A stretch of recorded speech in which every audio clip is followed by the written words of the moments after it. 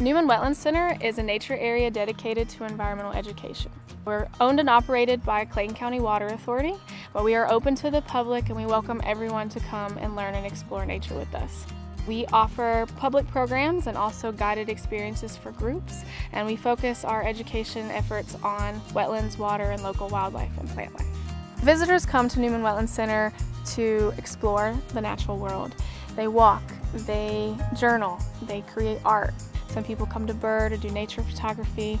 Other people bring their children here and do homeschool projects. There's a difference between like hearing birds and hearing them chirping and hearing people chirping. You know, you get that couple of minutes to yourself where you get to just be alone and be in a space where you have fresh air, you're not confined by walls, and you really get to enjoy this space however you choose to.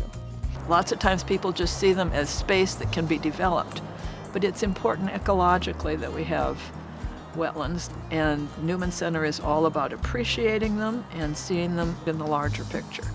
This wetland is very precious. I lost my husband some years ago. I feel very sad. But when I came here, I can be relaxed, forget my sadness, and recovery.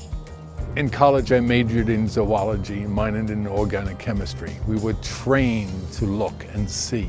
And the first time I went out with Danielle, we saw some things I hadn't noticed. And we were finding things that I would have walked right by. As a utility, water, sewer, and stormwater, it really is about conserving, preserving, and protecting our environment. Being in nature helps you to focus on the value of your life and even the natural habitat around you, the creatures that live amongst us, and what they bring to this environment. A sanctuary, a place of peace, it gives me a measure of pride. It really does. To play a role in preserving this area for not only the people of the community, but also the natural habitat. A visitor who comes to Newman Wetlands Center is likely to see a variety of plants depending on the time of the year. There's almost always a flower blooming.